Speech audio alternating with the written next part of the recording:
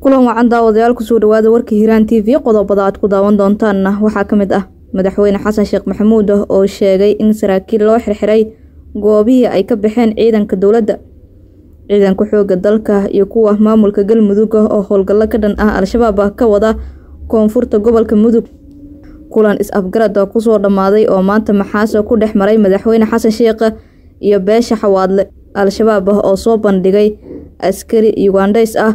oo dalbanaya in dowladiisu ay la hadasho al-shabaab iyo dhaqdhaqaaqyo ciidan oo xoogan oo laga dareemayo jiidaha dagaalka ciidamada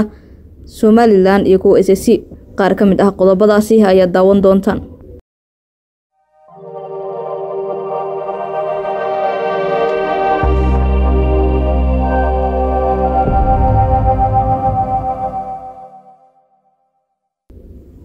Aynu ka horeyno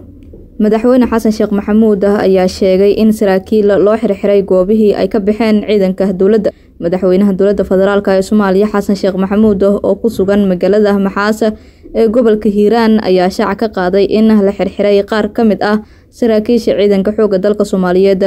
ee ku eedeysan in ay ka dambeeyeen in ciidanka dowladda ay isaga soo baxaan furmaha hore ee dagaalka. Madaxweyne xasan sheekh maxamuud ayaa hadalkan ka sheegay shalay mar uu khudbadda u jeedinayay ciidanka loo diyaarinayo dagaalka ka dhanka ah al-shabaab ee ku jira xero ku taala degmada maxaase isagoo ku ammaanay ciidanka guulaha ay ka gaareen howlgalladii ugu dambeeyey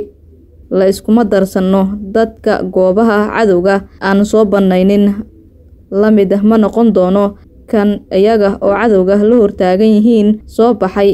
ee qorigiisa garabka saartay ee xamar tagay ama qoriga dhexda ku gatay ayuu yidhi madaxweyne xasan sheekh maxamuud.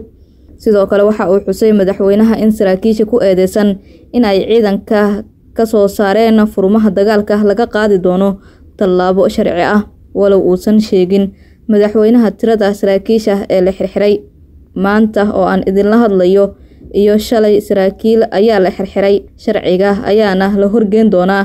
dembi ay geysteen ayaa loo xiray maxkamadda militariga. Waxa ay ka qabtana la horgeyn doonaa kii aan dembi lahayn. Waa la soo dayn doonaa ayuu yidhi madaxweyne xasan sheekh maxamuud. Madaxweynaha dowladda federaalk ee soomaaliya ayaa sidoo kale sheegay in tirada ciidanka ee dagaalada ku dhintay in ay ka badan yihiin kuwa guryahooda cudurrada ugu dhinta islamarkaana loo baahan yahay in ciidanka arrimihiisa aysan cabsi gelin. Si kastaba ha ahaatee hadalkan ka soo yeeray madaxweynaha soomaaliya ayaa ku soo beegmaya iyadoo shacabka soomaaliyeed ay muddooyinkii dambe si aad ah u hadalhayeen weerarkii askarta badan lagu laayay ee ka tirsanaa ciidanka dowladda ee ka dhacay deegaanka cusweyne iyo weliba sababihii ciidanka ay u soo banneeyeen